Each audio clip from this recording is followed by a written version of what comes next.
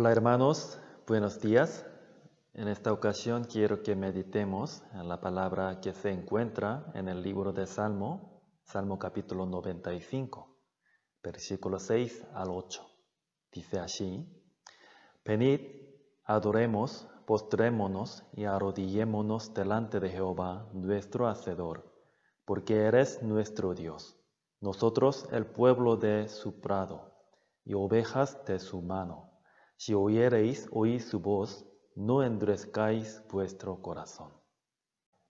En este versículo quiero compartir una reflexión ah, acerca de hoy, el día de hoy. Ah, nosotros todos estamos viviendo en este día que Dios nos ha dado permitido, pero a veces se nos olvida que hoy es una gran oportunidad de vivir para el Señor. Y creemos que siempre tenemos mañana Creemos que Dios nos permitirá mañana. Así que solemos dejar para mañana o para otro día lo que podemos hacer hoy, diciendo lo haré la próxima vez. Así ponemos excusas a menudo, ¿verdad? Sin embargo, mañana, el día después de hoy, no está garantizado para nosotros. De hecho, ni siquiera sabemos qué pasará en cinco minutos. Puede que no tengamos el día siguiente. Puede que no tengamos la próxima oportunidad. Dios no tiene la obligación de darnos el mañana.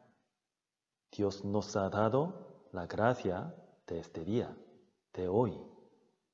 Por ejemplo, por ejemplo, imaginemos a un hombre rico competente que, que dona mil euros diario a una guardería a un orfanato. Él no está obligado a donarlo. Si le dio mil euros hoy, es solo su gracia. Incluso si no lo da mañana, no puede quejarse ni culpar, porque no era su deber, sino su gracia.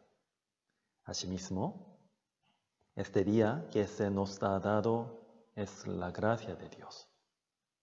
Y por supuesto, habrá un propósito de Dios para nosotros hoy.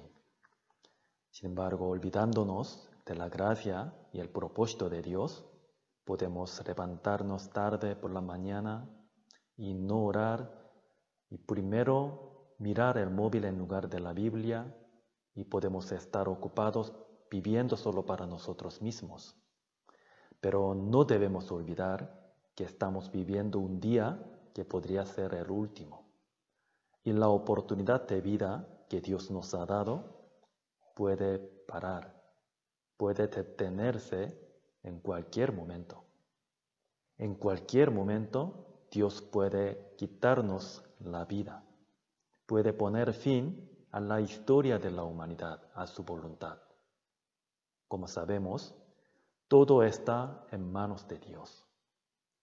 Por lo tanto, debemos apreciar el día de hoy, agradecer a Dios que nos ha dado este día y buscar el propósito de Dios para nosotros y nunca vivir en vano. Y no dejar, no dejar para mañana lo que podemos hacer hoy ante Dios, porque mañana no está garantizado para nosotros. Por eso en Proverbios la palabra nos dice, no te jactes del día de mañana, porque no sabes qué dará de sí el día. No sabemos lo que pasará durante el día. Para nosotros, el tiempo no está garantizado.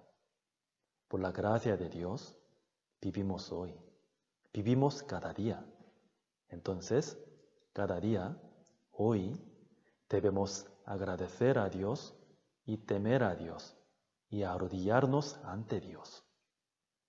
Por eso la palabra de hoy dice, adoremos y postrémonos y arrodillémonos, arrodillémonos delante de Jehová.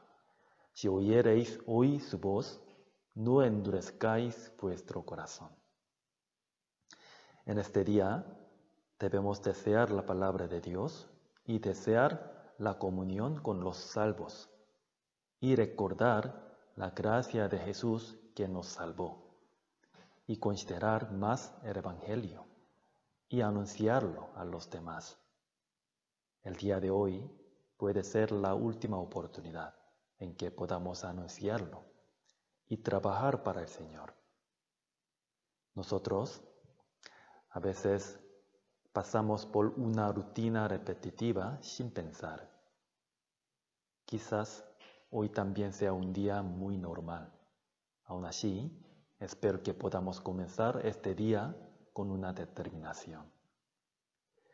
Incluso si vivo un solo día, viviré en el Señor. Viviré para agradar al Señor. Hoy haré lo que agrada al Señor. Necesitamos esta determinación.